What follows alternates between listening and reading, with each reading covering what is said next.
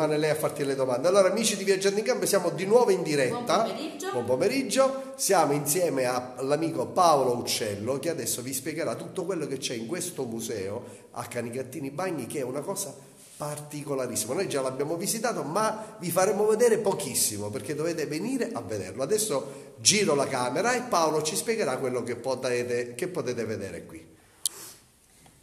Allora, cosa ci hai fatto vedere prima? Parla tu, perché io con la tosse proprio- Allora, intanto abbiamo visto la prima sezione, quella dedicata alla medicina popolare, per cui chi viene a Canicattini eh, avrà un'idea di quella che era la tradizione legata all'aromatiere, ma non solo, ai guaritori e alle guaritrici eh, e alle maiare, perché indubbiamente questa era una tradizione molto, molto bella che ancora oggi poi suscita interesse, io infatti faccio ancora tante, tantissime conferenze su streghe e guaritori.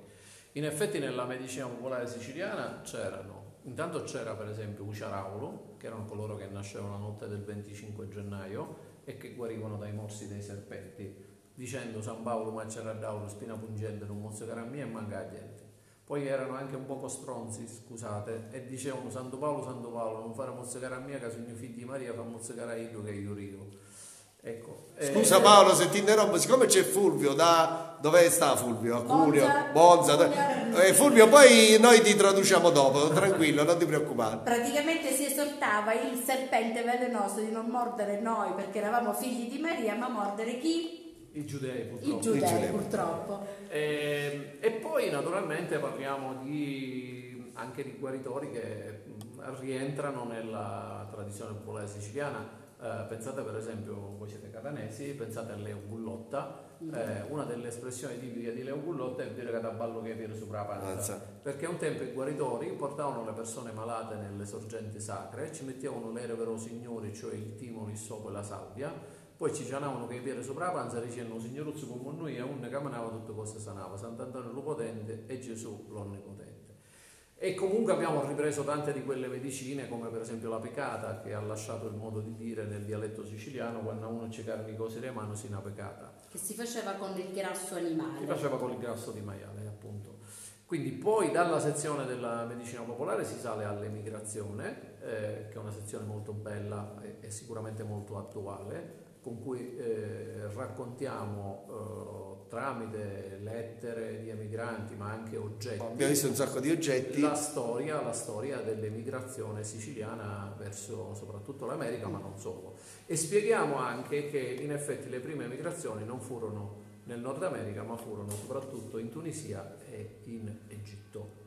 E infine poi c'è la sezione della- del tessuto, quindi possono vedere dai tessuti più pregiati come il bisso ai tessuti più poveri, fatti con le fibre più povere.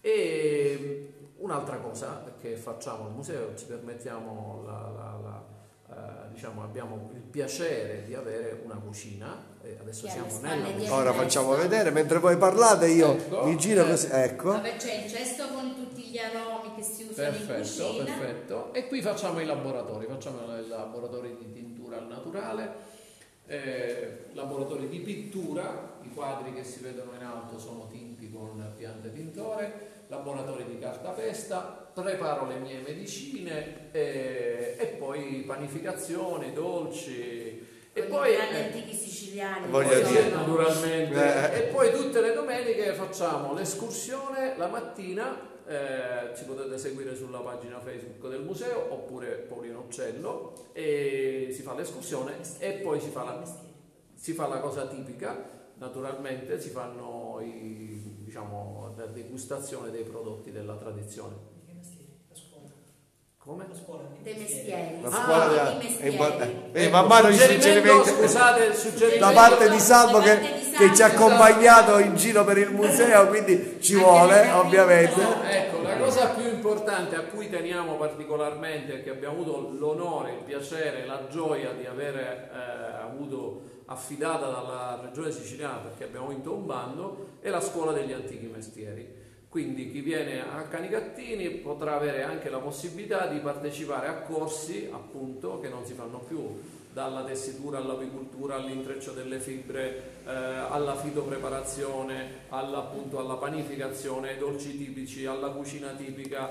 eh, sono 12 Per corsi, Quindi- tutti, dallo scalpellino all'apicultore, insomma, Tantissimi motivi per venire a Canicattini Bagni Esatto. per vedere questa splendida cittadina, il museo, E la quindi cripta. chi tutto. viene può tranquillamente chiedere informazioni per avere delle guide come È abbiamo avuto noi d'eccezione, Paolino Uccello oppure anche Salvatore che ci Ma poi ci sono le escursioni nella zona di Pantalica, se non erro, che Sì, che tutte sono- le domeniche, tutte le domeniche eh, se sono ci seguono nel- nella pagina del museo oppure nella mia pagina possono La, partecipare. la dici qual è la pagina del museo? Così ti ricordi?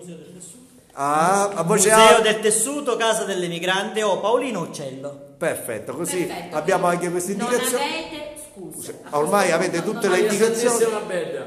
Maria Santissima Bella, dovete venire. Cioè, Grazie a eh, grazie, Grazie Paolo, grazie Salvo, Salvo. siete stati voi. gentilissimi, continuate così perché la nostra terra ha bisogno di essere Ha bisogno di valorizzata persone come come fate Ha voi. bisogno di suddisti. Di Ha bisogno suddisti. di. Ha bisogno di suddisti Grazie, Amici, buona strada. buona strada a tutti. Ciao.